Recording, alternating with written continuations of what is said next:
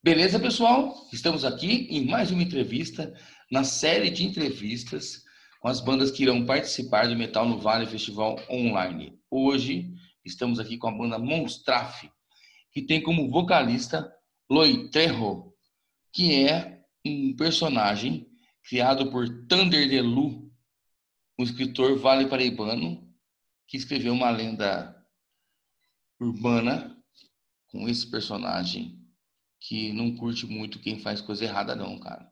Se você tá aí fazendo coisa errada, se liga. Pelo Trejo. Então no Vale. O Ronco do Vale rola aqui.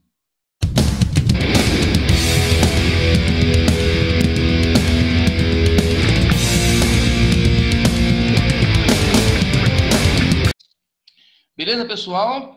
Estamos aqui em mais uma entrevista com uma das bandas que irão participar do Metal no Vale Festival Online. Tudo bem, minha amiga Naime Stephanie? E aí, Paulo? Beleza? Beleza? Beleza? Hoje, assim, o clima está meio tenso, porque nós estamos aqui com a banda Monstraf. Né? Fala a verdade. Fala, galera. Beleza? A, a, a, Naima até, a, Naima até, a Naima até desapareceu um momento aqui. Você viu que a Naima até sumiu? Voltei. Ela falou, Assim, ela falou assim: Mercury. Tá tão tenso que eu vou cabreira, rapaz. Porque eu sou um menino fui muito má quando criança. Então eu tô meio preocupada com o Loitreiro aí, meio que mirando eu aqui nas redes sociais, cara. Olha, é um prazer, ó, um prazer enorme ter o Monstraf aqui, uma banda nova aqui do Vale do Paraíba, detonante. Curto muito o som de vocês. O Death Metal de São José dos Campos, que lançou o primeiro álbum em 2018. E tem com formação aí, quem, Naine Stephanie? Com J. Luger na guitarra, Ramires Cortazar na guitarra também, é, Morales é, no baixo e Rodrigo na bateria. E no vocal, Loitrejo. Loitrejo. Loitrejo, que é um, um personagem, né?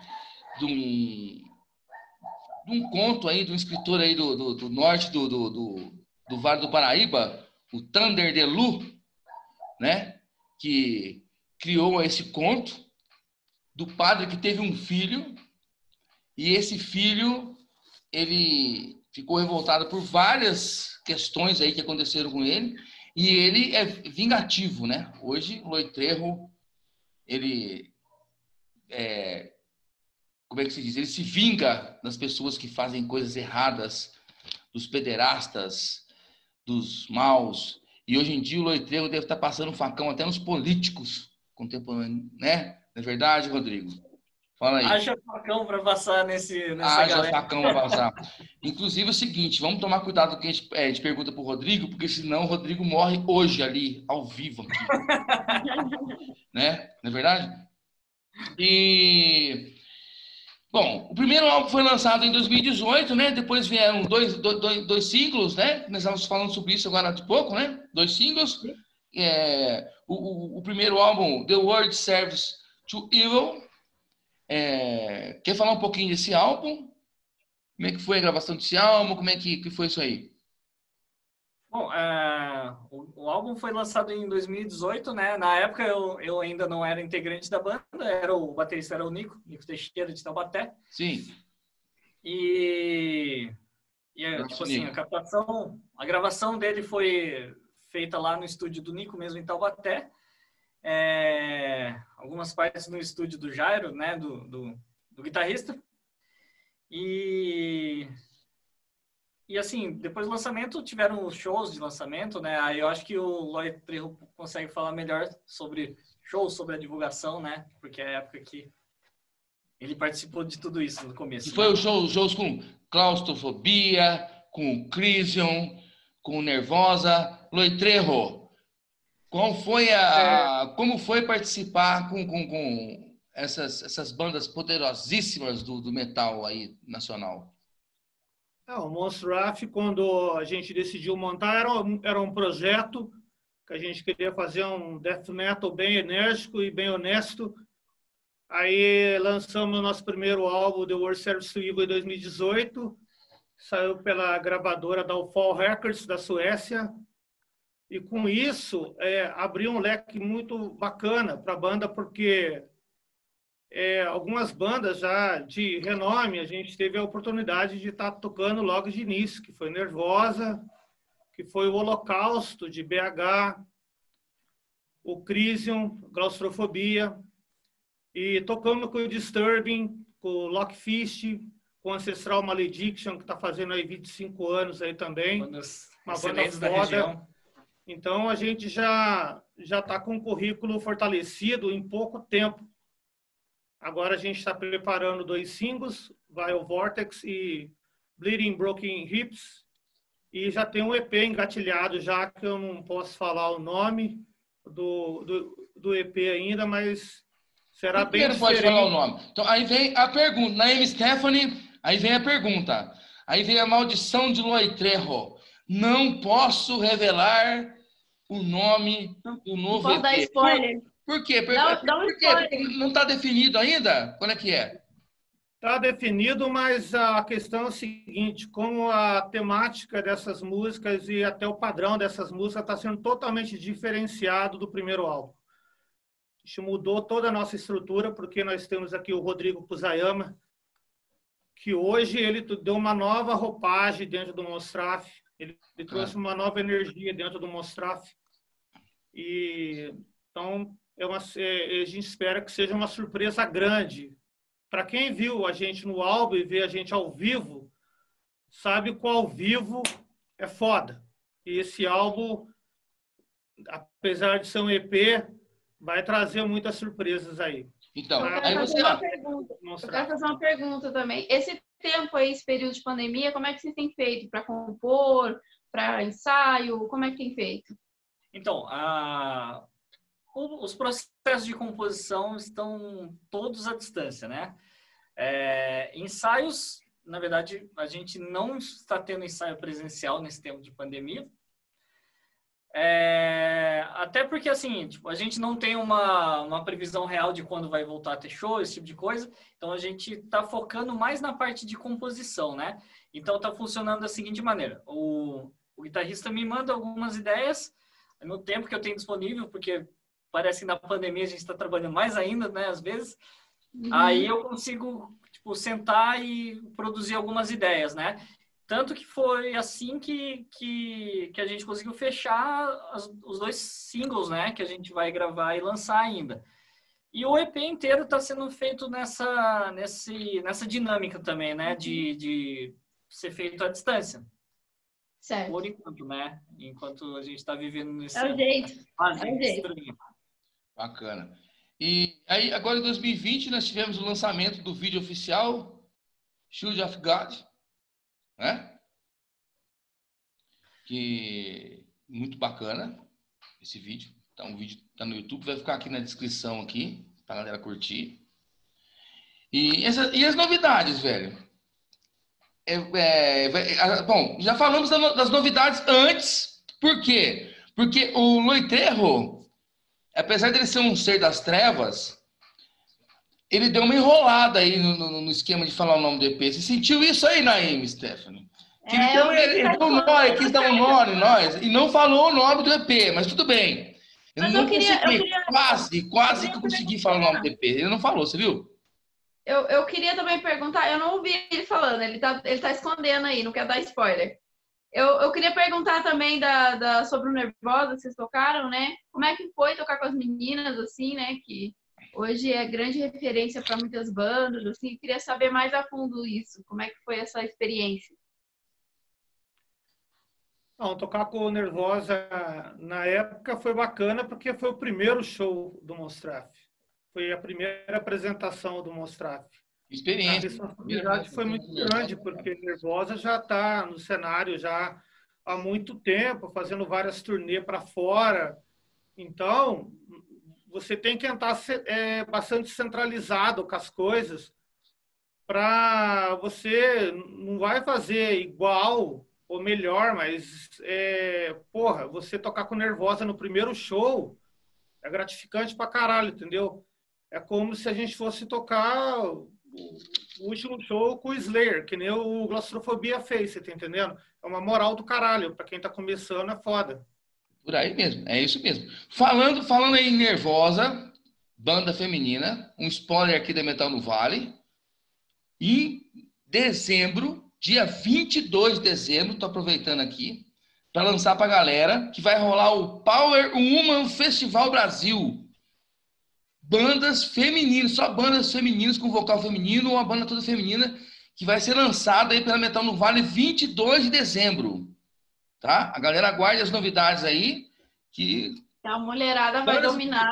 Bandas do Brasil inteiro. A intenção do festival é colocar bandas dos 26 estados brasileiros. Uma de cada estado. Tá difícil de escolher qual. Mas né? são maravilhosas todas. Já está quase prevista, já quase a terceira edição, sem montar a primeira. Mas vai ser muito bacana. É. Aguardem, aguardem que vai ser muito legal isso daí. Beleza?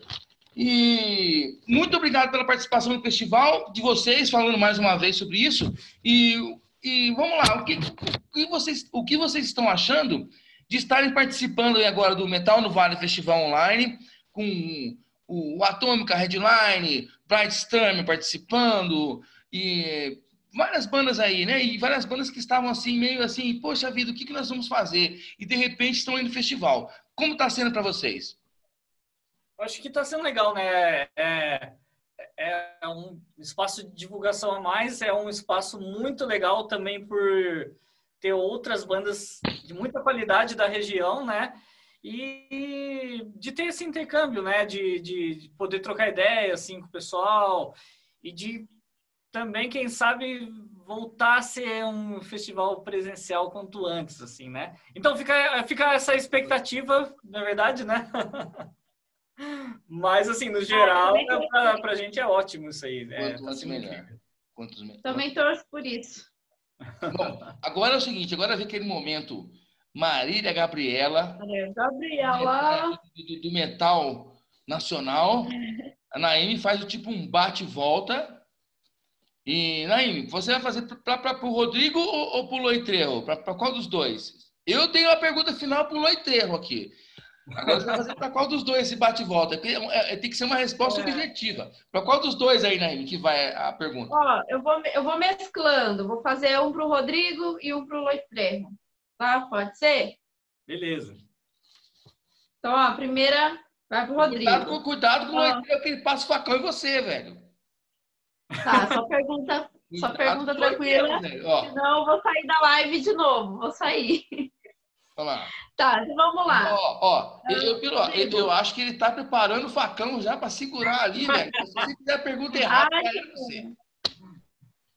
Rodrigo, qual o primeiro disco de, de metal, rock, que você ouviu? Primeiro, primeiro... Que, eu, primeiro que eu ouvi na vida foi o The Great, The Great Southern Kill do Pantera.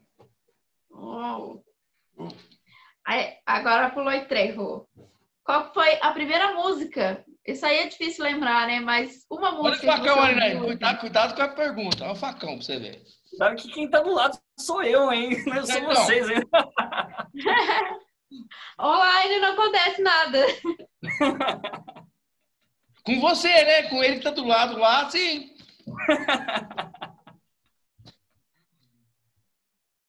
Pode perguntar, Naim, desculpa. Ah, achei que cortou, então. É, qual a primeira música que ele ouviu de metal ou rock? O Loitrejo já tem quase cinco décadas tem meio século. As bandas que eu ouvia antes eram Judas, Breaking the Law, é, Black Sabbath, é, Warpigs, é, dessas bandas da década de 80, 85, assim, digamos. Gostava muito de Hellhammer, Triumph of Death. E gostava muito de Venom,